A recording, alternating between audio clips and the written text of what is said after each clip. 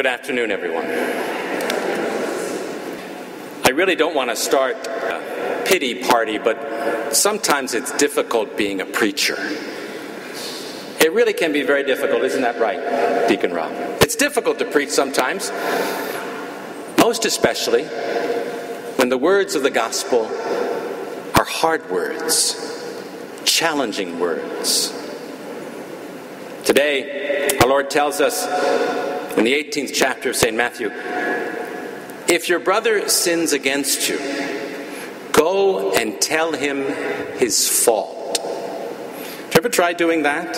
You know how difficult that is. He says, between you and him alone.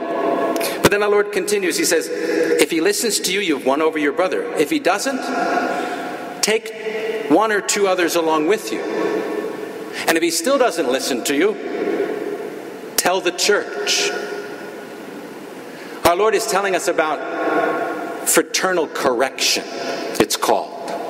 When we see something wrong in our brother or sister, and being concerned enough about their spiritual life, their eternal salvation in some instances, to tell them, to correct them. Now, as our Lord will also say, you know, we have to take care of the beam in our own eye before we look at the splinter in someone else's. That's very true. Nevertheless, we are our brother's keeper, our sister's keeper.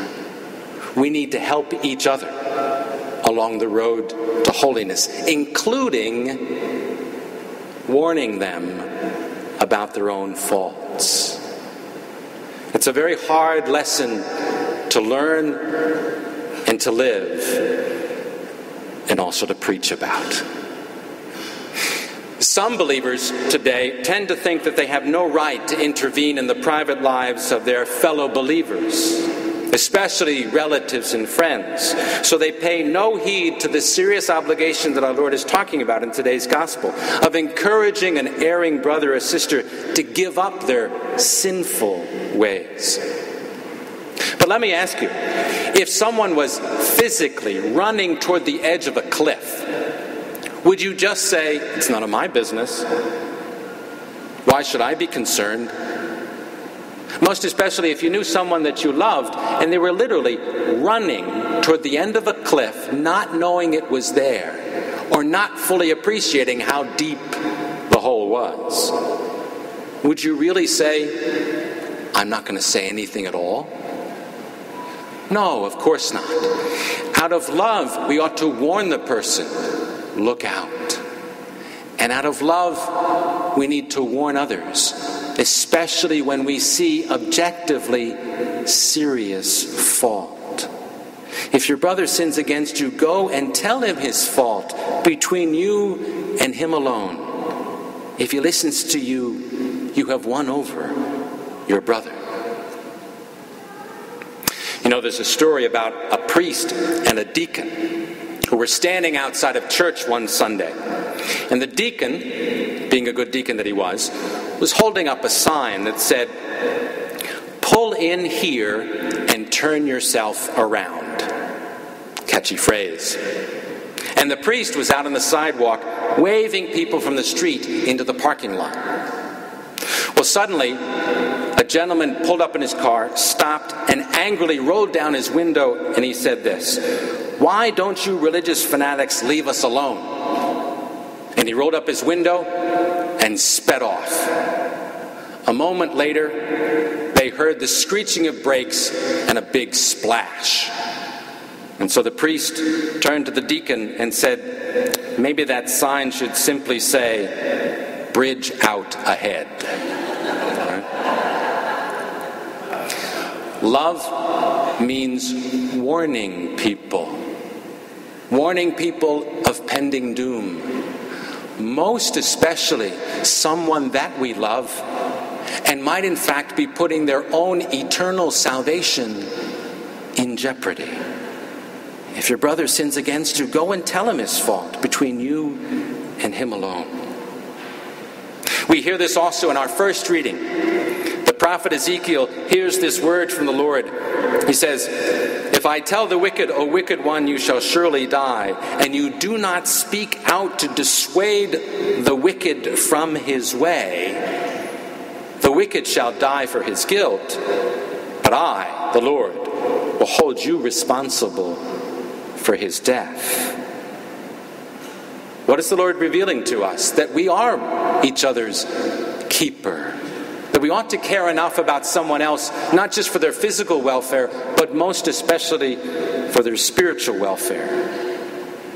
And this is a hard lesson to hear and to preach about. Have we offered advice, you and I? Have we offered encouragement, you and I? Especially to our family members and our friends and our neighbors and our coworkers when it was needed. And lovingly, when it's needed, in private, to correct wherever necessary. It's not easy. But how many people do we know that, for instance, are living together before they're married? And we don't say anything to them? How many people do we know and care about and are constantly overindulging in alcohol and we don't say anything to them out of love?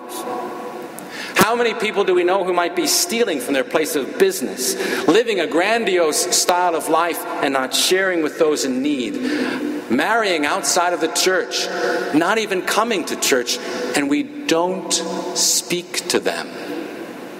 We don't warn them. We don't, out of love, try to correct them. Now, I know what people say. It says, Who am I? Yeah, who are any of us? We all are guilty. And that's sometimes the best way to begin the conversation. I'm guilty as you are. We have to notice the plank in our own eye first before Jesus says we take the splinter out of our brother's eye. But we still have to take that splinter out. We still have to care enough about the spiritual welfare of those, especially those we love.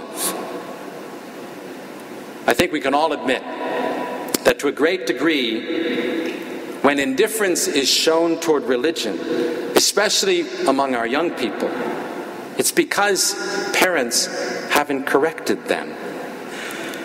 If the children of good Christian families grow up as practical pagans, maybe the family has not been so good.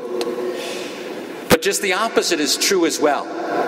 In a very secularized society, when we see young people really responding to the faith, it's because they've had parents that have cared enough to keep them on the straight and narrow path. That takes courage, parents. It does. That takes courage, grandparents. Yes, it does. But you are concerned enough about your own children and grandchildren to correct them when they need it, knowing that we all need correction. Indeed, my brothers and sisters, it's a hard lesson to learn, but it's a lesson of love. Does not St. Paul tell us in that second reading from his letter to the Romans, owe nothing to anyone except to love one another? And one sure way that we can show our love for one another is to indeed follow the advice that our Lord gives us. If your brother sins against you, go and tell him his fault between you and him alone. If he listens to you, you have won over your brother, your sister. These are hard words. But some Sunday you happen to see the deacon out in the parking lot with a big sign and you see me waving you in, please don't yell at us. But just remember, we all need a warning. We are all guilty. We all need to help one another along the road to holiness especially to practice fraternal correction.